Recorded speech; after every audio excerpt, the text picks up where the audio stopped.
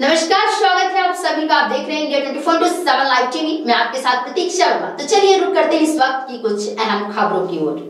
पंजाब के मुख्यमंत्री चरणजीत सिंह चन्नी के हेलीकॉप्टर को सोमवार, यानी आज चंडीगढ़ के राजेंद्र पार्क से उड़ान भरने की अनुमति नहीं दी गई। क्योंकि प्रधानमंत्री नरेंद्र मोदी के काफिले के कारण नो फ्लाई जोन घोषित किया गया था। कांग्रेस नेता राहुल गांधी की चुनावी रैली में शामिल होने के लिए सीएम चन्नी को पंजाब के लिए होशियारपुर जाना था, जिसके चलते चन्नी होशियारपुर में राहुल गांधी की रैली में नहीं पहुँच पाए। अब इस मामले में कांग्रेस नेता सुनील जाखड़ ने पीएम मोदी और बीजेपी पर तीखा हमला बोला है। जी आपको बताते चले दरअसल आज होशियारपुर में राहुल गांधी की रैली थी, जिसमें शामिल होने के लिए मुख्यमंत्री चरणजीत सिंह चन्नी को चंडीगढ़ से होशियारपुर रैली के लिए निकलना था।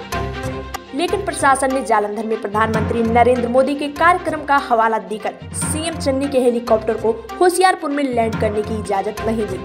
बताया जा रहा है कि प्रधानमंत्री की सुरक्षा के कारण पंजाब में नो फ्लाइंग जोन घोषित किया गया है।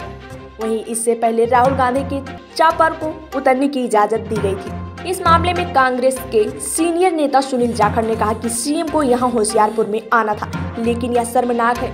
कि इस सरकार ने चरणजीत सिंह चन्नी को होशियारपुर आने की अनुमति रद्द कर दी। वहीं आपको बताते चले अगर चुनाव आयोग ने इसका संज्ञान नहीं लिया तो मैं समझ जाऊँगा कि यह चुनाव स्वांग और दिखावा भर है। उन जाखड़ ने कहा कि कुछ दिन पहले जब पीएम मोदी फिरोजपुर नहीं जा पाए, तब कहा गया था कि उनकी ज़िंदगी को खतरा था, लेकिन आज चन्नी को होशियारपुर आने से रोका गया। मोदी को इस पर कुछ रोशनी डालनी चाहिए।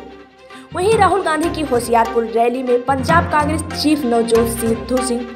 राहुल गांधी की होशियारपुर रैली में पंजाब कांग्रेस चीफ नवजोत सिंह सिद्धू समेत कई नेता मौजूद हैं। राहुल ने कहा कि चरणजीत चन्नी गरीब घर के बेटे हैं। वह गरीबी को समझते हैं। वह पंजाब में अरबपतियों की सरकार नहीं चलाएँगे। पंजाब में किसानों, गरीबों, मजदूरों और स्मॉल मीडियम इंडस्ट्रीज़ की सरकार चलाएँगे। वहीं नोटबंदी के बाद से देश की बुरी हालत शुरू हुई है। देश में बेरोजगारी फैल गई थी। इंडस्ट्रियाँ तबाह हो गई। जीएसटी भी गलत ढंग से लागू कर दिया गया। वहीं आपको बता दें कि पंजाब की 117 विधानसभा सीटों के लिए 20 फरवरी को मतदान होगा और 10 मार्च को मतगणना होगी।